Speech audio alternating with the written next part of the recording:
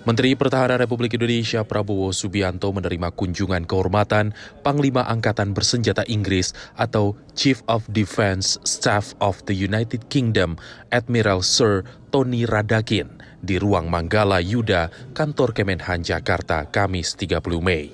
Kedatangan Tony Radakin bersama delegasinya disambut langsung oleh Wakil Menhan RI M. Herindra di lapangan Bela Negara Kementerian Pertahanan. Selepas menyimak lagu kebangsaan kedua negara, Wamenhan RI bersama Panglima Angkatan Bersenjata Inggris meninjau pasukan dan meletakkan karangan bunga di pelataran patung Soekarno menunggang kuda. Dalam pertemuan tersebut, Menhan Prabowo mendiskusikan peningkatan kerjasama bilateral di bidang pertahanan antara Indonesia dan Inggris.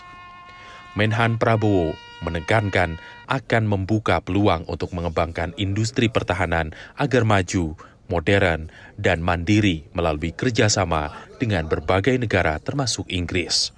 Sementara itu, Panglima Angkatan Bersenjata Inggris mendiskusikan sejumlah potensi kerjasama di bidang pertahanan antara kedua negara, termasuk kerjasama yang akan menguntungkan Indonesia.